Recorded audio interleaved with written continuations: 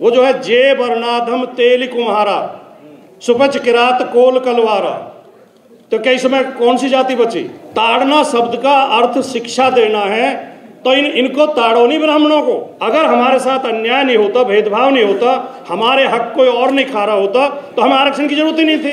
तो कोई इस बात का बुरा मानता हो तो मान जाए, हमारा कौन सा बहिष्कार कर देंगे या हमें कौन सा बिरादरी से गिरा देंगे? लेकिन वो हमारे लोगों की समझ में तो आएगी बात।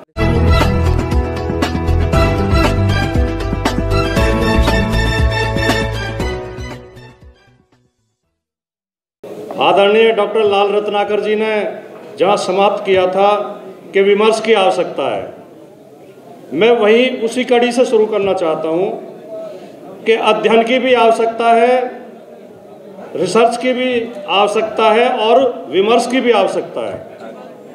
मैं ये महसूस करता हूँ, मैं बहुत बारीकी से इस बात का अध्ययन करता हूँ। मैं देखता हूँ कि जिस तरह यहाँ ओबीसी महासभा का कार्यक्रम हो रहा है ओबीसी समाज के बारे में, शूद्र समाज के बारे में, बहुजन समाज के बारे में, दलित और आदिवासी समाज के बारे में बातें की जा रही हैं तो यहाँ खूब खुल के बोलेंगे और ताली भी खूब बजाएँगे, समर्थन भी करेंगे। लेकिन जब बाहर समाज में बैठे हैं और दो व्यक्ति उस शोषक समाज के बैठे हों तो मौन साध लेंगे। अन्यायपूर्ण बातों पर भी, अनर्गल बातों पर भी गलत बातों पर भी मौन साध लेंगे बोलेंगे नहीं। ये हमारी सबसे बड़ी कमज़ोरी है। मैं ये कहना चाहता हूँ कि हमें हर जगह बोलना चाहिए। हम कोई अन्याय की बात तो कर नहीं रहे, कोई बेईमानी की बात तो कर नहीं रहे, हम कोई झूठी बात तो कह नहीं रहे, हम कोई फर्जी धर्मशास्त्र के नाम पे तो अपनी बात थोप नहीं रहे।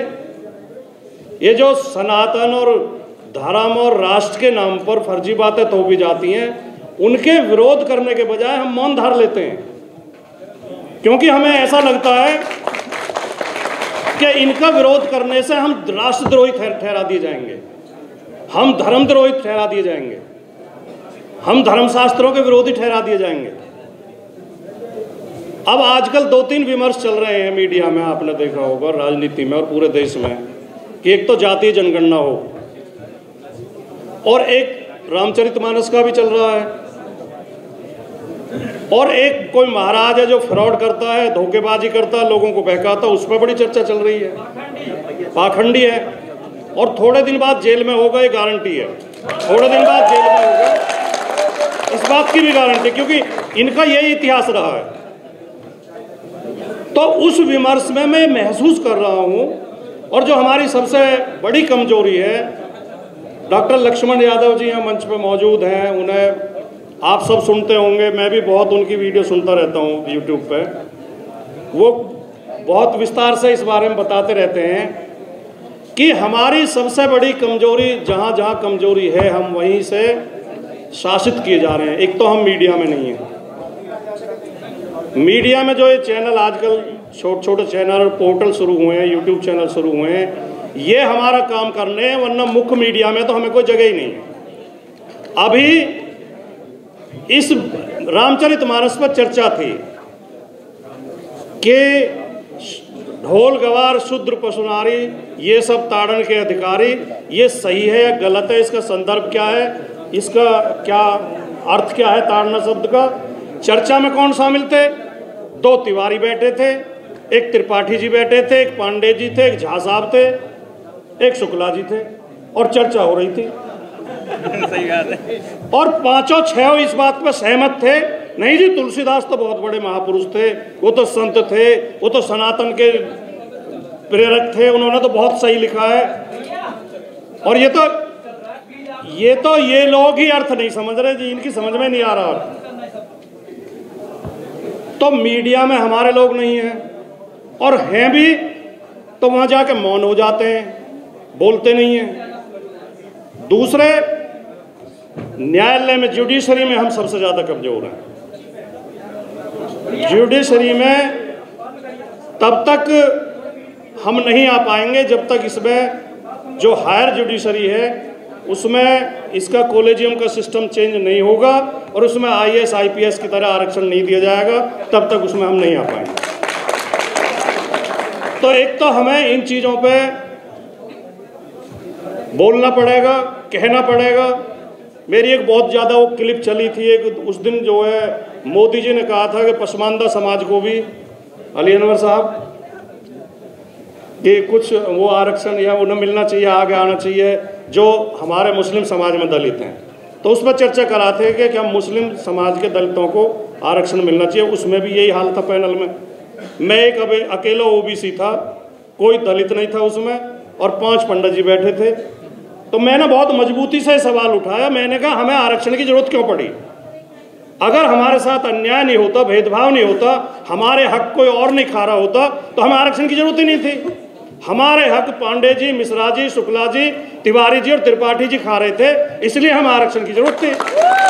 और आज जब आरक्षण पर चर्चा कर रहे हैं तो उस पैनल में भी वही पांडे जी, मिश्रा जी, त्रिपाठी जी, तिवारी जी बैठे हैं। तो कोई इस बात का बुरा मानता हो तो मान जाए, हमारा कौन सा बहिष्कार कर देंगे? या हमें कौन सा बिरादरी से गिरा देंगे? लेकिन वो हमारे लोगों की समझ में तो आएगी बात। तो मैं केवल ये निवेदन करके, क्योंकि बोला तो बहुत कुछ जा सकता है, बहुत कुछ कहा जा सकता है, बहुत बात कहने के लिए हैं भी, लेकिन मंच की गर्मा का ख्याल रखते हुए, समय सीमा का ख्याल रखते हुए, वरिष्ठ लोगों को बोलना है, बहुत लोगों को बोलना है, सबकी बात हमें सुननी है। केवल मैं एक ही बात कह के अपनी बात बात समाप्त करूँगा कि हमें मुखर होकर बोलना है, हमें हर जगह बोलना है, हमें केवल हॉल के अंदर नहीं बोलना है, हमें सड़क पर भी बोलना है, शादी विवाह में भी बोलना है, मौत में जाते हैं वहाँ भी बोलना है। जहाँ मौका मिले वहाँ बोलना है, जहाँ चार आदमी बैठे वहाँ बोलना है कि अगर ताड़ना शब्द का अर्थ शिक्षा देना है तो इन, इनको ताड़ो नहीं ब्राह्मणों को। हमें क्यों ताड़ रहे हो? ज़्यादा इन्हें ताड़ो नहीं, ये तो शीशे की तरह साफ़ है, ये तो सबको पता है कि हम सब शूद्र हैं। हम सब शूद्र हैं। और मैं मैं कहना नहीं चाहता तो मैंने जानबूझ के वो बात नहीं की, लेकिन आपने सवाल उठा दिया तो कल अखिलेश यादव जी लखनऊ में बोल रहे थे। अखिलेश यादव जी एक किसी उसमें गए थे, शामिल होने धार्मिक कार्यक्रम में। वहाँ बीजेपी के लोगों ने उन्हें झंडे दिखाए, नारे लगाए, अपमान किया। तो उन्होंने स्पष्ट आके कहा मीडिया के सामने, जब मीडिया खड़ी थी, कि बीजेपी के लोग ब्राह्मण के अलावा हम सबको शूद्र मानते हैं। ये सारे ओबीसी को शूद्र मानते हैं, सारे दलितों को, सारे आदिवासी मतलब हम शूद्र हैं, और जब इनका निशाना होता है, शूद्र ये कहते हैं। अब तुलसीदास जी ने जो लिखा है, जो बहुत ज़्यादा बोली जा रही है चौपाई, जो स्वामी प्रसाद मौर्य ने भी बोली है, वो चंद्रशेखर जी नीचे में बोली है, कि वो जो है जे वर्णाधम तेल कुम्हारा, सुपच किरात कोल कलवारा। तो क्या इसमें कौन सी जाति बची? जब तेली और कुम्हार आ गए तो सारे ओबीसी आ गए सारे ओबीसी आ गए यादवों के लिए भी लिखा है उसमें, रामचरित मानस में।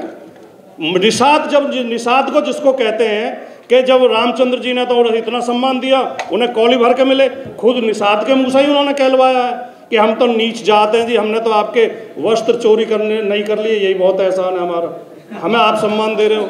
सबरी का कहा जाता है, जब सबरी के पास जाते हैं तो सबरी से कहलवाया कि कहीं भी दिया स्तुति करो, तुम्हारी नीच जात में जड़मत भारी। मैं तो महामूर्ख हूँ, क्योंकि नीच जाति में पैदा हुई है। और आखिर में मैं थोड़ा, मैं समय लेना नहीं चाह रहा था, लेकिन चलो आपने सवाल पूछ लिया। वो जो उसने कहा नहीं कि अच्छा एक बात और, जो ये हमें प्रसंग का वो पढ़ाते हैं पाठ। क्या जी प्रसंग बस कहा है, पात्र, देखो पात्र किसने कहा है? अब पात्र तो कहा ढोल गवार सूत्र पशुनारी समुद्र ने कहा है। जे वर्णाधम क्या वो वो जो कौआ कह रहा है काक भूसंडी तो कौआर समुद्र का ही बोलते हैं। भैया कौवार समुंदर तो बोल नहीं सकते। ये तुलसी कह रहा है, तुलसी प्रसाद दुबे कह रहा है। सवाल ये है